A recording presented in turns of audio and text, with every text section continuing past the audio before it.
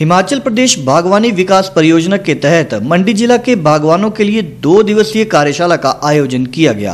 कार्यशाला का शुभारंभ डीसी मंडी मदन चौहान ने किया। इस अवसर पर मदन चौहान ने बताया कि विश्व बैंक के सहयोग से हिमाचल प्रदेश बागवानी विकास परियोजना का संचालन किया जा रहा है ताकि यहाँ के बागवानों को आधुनिक तकनीकों की जानकारी दी जा सके। मदन चौहान ने बताया कि परियोजना के तहत सेब, चेरी नाशपाती खुमानी पलम आड़ू आम लीची और नींबू प्रजाति के साथ साथ अनार और अखरोट जैसे फलों के उत्पादन को भी बढ़ावा मिलेगा।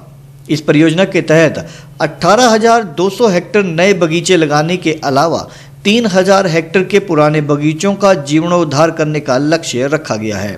इसके साथ ही 8,800 हेक्टेयर क्षेत्र में फल बगीचों की सुधारी वैज्ञानिक तकनीकी के अंतर्गत लाए जाना लक्ष्य में रखा गया है।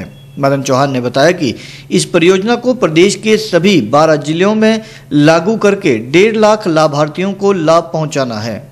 उपायुक्त मंडी ने अधिक से अधिक बागवानों से इस परियोजना का लाभ उठाने का आह्वान भी किया। आपके माध्यम से सभी किसानों से भी ये आग्रह करना चाहूँगा कि अब लेटेस्ट जमाना जो हमारा आ गया है लेटेस्ट प्लांटेशन का आ गया है हमारी प्रोडक्शन जो है विजा वी वर्ल्ड लेवल पे जो है बहुत कम है कंपैरेटिवली जितने एक हेक्टेयर में हम एप्पल प्रोड्यूस करते हैं वो बहुत कम है चाइना के कंपैरिजन में भी मैं कहूँगा क्योंकि मुझे एचपीएमसी में काम करने का भी थोड़ा सौभाग्य प्राप्त हुआ है। उस वक्त हम ये स्टडी किया करते थे खास करके एप्पल जूस कंसनट्रेट के लिए।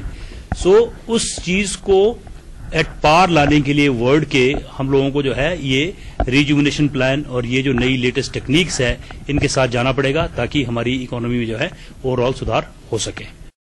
इस मौके पर बागवानी विभाग के उप निदेशक ने जानकारी देते हुए बताया कि वर्ल्ड बैंक के सहयोग से ये प्रोजेक्ट पूरे पाँच वर्षों तक चलाया जाएगा ताकि अधिक से अधिक बागवानों को इसका लाभ मिल सके। वहीं उन्होंने स्पष्ट किया कि इस प्रोजेक्ट के तहत पुराने पौधों को बदलकर अधिक लाभ देने वाले नए पौधों को लगाने का लक्ष्य भी रखा गया है। उन्होंने कहा कि प्रदेश में सबसे अधिक सेब का उत्पादन होता है, लेकिन इसका उत्पादन अभी भी काफ़ी कम है। इसे बढ़ाने की दिशा में भी ये प्रयास किया जाएगा।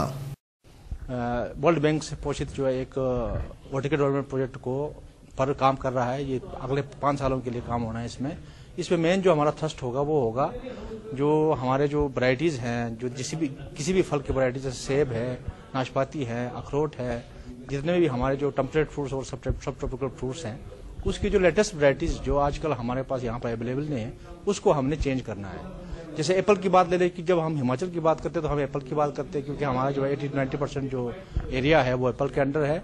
तो एप्पल में हमारा जो, पर जो हेक्टेयर जो प्रोडक्शन है, वो आज अगर हम थर्ड वर्ल्ड कंट्री से भी अगर हम कंपेयर करें तो बहुत डाउन है हमारा। तो इस प्रोजेक्ट का मेन मकसद हमारा ये है प्रोडक्टिविटी को बढ़ाना है क्वालिटी को हमने एनहांस करना है, और साथ में जो हमारे जो इंफ्रास्ट्रक्चर है वैल्यूएडेशन है फ्रूट्स का, उसको हमने जो बढ़ावा देना है।